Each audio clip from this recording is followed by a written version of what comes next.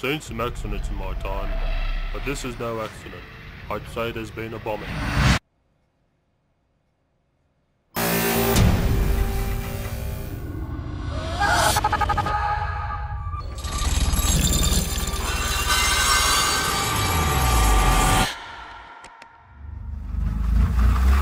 I will issue all of you with video cameras as security devices, so use them wisely.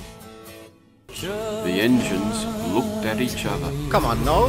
Well, who are you looking at? We might be old and dependent on coal, but we're survivors.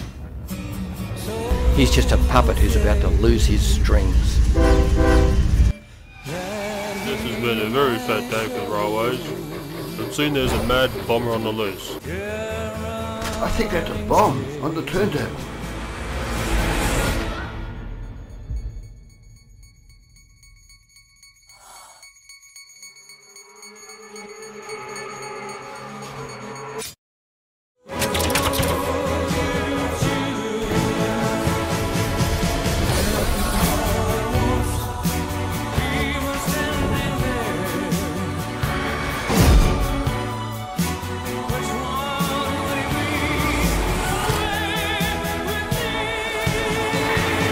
Vikings!